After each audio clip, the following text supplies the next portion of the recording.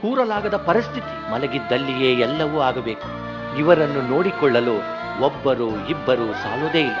ಸುಮಾರು ಐದರಿಂದ ಆರು ಸಿಬ್ಬಂದಿಗಳು ಇವರ ಸೇವೆಗೆ ಸದಾ ನಿಲ್ಲಬೇಕಾಗುತ್ತದೆ. ಇಂಥವರನ್ನು ಮನೆ ಮಂದಿ ನೋಡಿಕೊಳ್ಳುವುದು ನಿಜಕ್ಕೂ ಕಷ್ಟದ ವಿಷಯ. ಆದರೆ ಕೆಎನ್ಸಿ ಆರೋಗ್ಯಧಾಮ, ಇಂಥವರ ಸೇವೆಗಾಗಿ ಉತ್ತಮ ವ್ಯವಸ್ಥೆ ಇದೆ. ಕೇವಲ ಇಪ್ಪತ್ತೈದು ದಿನಗಳಲ್ಲಿ ನಲವತ್ತು ಕೆಜಿಯಷ್ಟು ಕಡಿಮೆಯಾಗಿರುವುದು ಕೆಎನ್ಸಿ ಸಾಧನೆಗಳಲ್ಲೊಂದಾಗಿದೆ. ಈ ರೀತಿ ಯಾವುದೇ ಅಡ್ಡ ಪರಿಣಾಮವಿಲ್ಲದೆ ದೇಹದ ತೂಕ ನಿಯಂತ್ರಣವಾಗಿರುವುದನ್ನು ಹಲವಾರು ಮಂದಿ ಖುದ್ದಾಗಿ ವೀಕ್ಷಿಸಲು ಇಲ್ಲಿಗೆ ಆಗಮಿಸುತ್ತಿದ್ದಾರೆ. ಉಸಿರಾಟದ ಸಮಸ್ಯೆಯಿಂದ ಬಳಲುತ್ತಿರುವ ಆಂಧ್ರಪ್ರದೇಶದ ಕರ್ನೂಲ್ ಜಿಲ್ಲೆಯ ಜಯಲಕ್ಷ್ಮಿಯವರಿಗೆ ಇಲ್ಲಿಗೆ ಸೇರುವ ಮುಂಚೆ ದಿನದ ಇಪ್ಪತ್ತು ನಾಲ್ಕು ಗಂಟೆಗಳು ಸಹ ಕೃತಕ ಉಸಿರಾಟದ ವ್ಯವಸ್ಥೆಯನ್ನು ಮಾಡಬೇಕಾಗಿತ್ತು.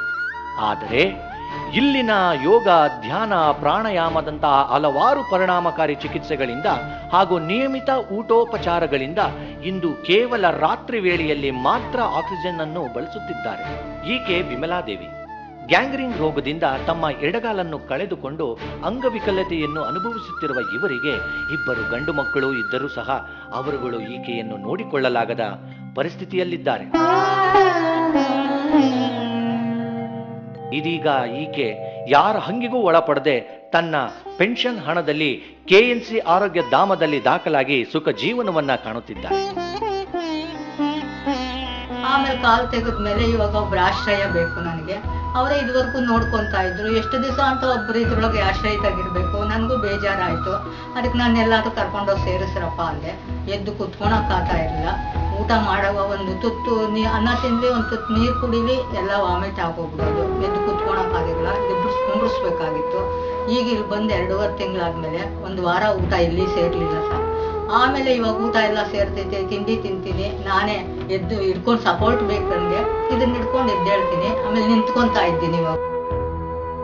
ಗೌರಮ್ಮ, ಪಾರ್ಶ್ವವಾಯು ಪೀಡಿತರಾಗಿದ್ದು ಇಲ್ಲಿಗೆ ಸೇರುವ ಮುಂಚೆ ದೇಹದ ಎಲ್ಲ ಭಾಗಗಳು ಸಂಪೂರ್ಣವಾಗಿ ನಿಷ್ಕ್ರಿಯವಾಗಿದ್ದವು ಈಗ ಇಲ್ಲಿನ ಸೌಲಭ್ಯಗಳಿಂದ ಮತ್ತು ಸಿಬ್ಬಂದಿಗಳ ಸೇವೆಯಿಂದ ದೇಹದಲ್ಲಿ ಚಲನೆ ಕಂಡುಕೊಂಡಿದ್ದಾರೆ.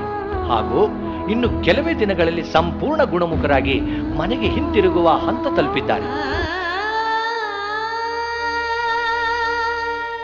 ಇವ್ರು ನಮ್ಮ ತಾಯಿಯವರಾಗಬೇಕು.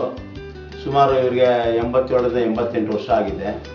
ಇವ್ರಿಗೆ ಇದ್ದಕ್ಕಿದ್ದಾಗೆ ಕೈ ಮತ್ತು ಕಾಲುಗಳು ಸ್ವಾಧೀನ ಇಲ್ದಿರ ಮನೆಯಲ್ಲಿ ಭಾಳ ಸುಸ್ತಾಗ್ಬಿಟ್ಟಿದ್ರು ಮತ್ತು ನಾವು ಒಂದು ದಿವಸ ಎರಡು ದಿವಸ ನೋಡಿದ್ವಿ, ಆಮೇಲೆ ವಿಧಿ ಇಲ್ದಿರ ಅಗಡಿ ನರ್ಸಿಂಗ್ ಹೋಮ್ಗೆ ಅಡ್ಮಿಟ್ ಮಾಡಿದ್ವಿ. ಅಲ್ಲಿ ಒಂದು ಹದಿನೈದು ದಿವಸ ಅಡ್ಮಿಟ್ ಮಾಡಿದ್ಮೇಲೆ ಅಲ್ಲಿ ಸ್ವಲ್ಪ ಅಂಥ ಬೆಟ್ರೇನು ಕಾಣಿಸ್ಲಿಲ್ಲ. ಇಲ್ಲಿ ಯಾರೋ ಒಬ್ಬರು ಪರಿಚಯ ಮಾಡಿಕೊಟ್ರು, ಈ ನವಚೈತನ್ಯ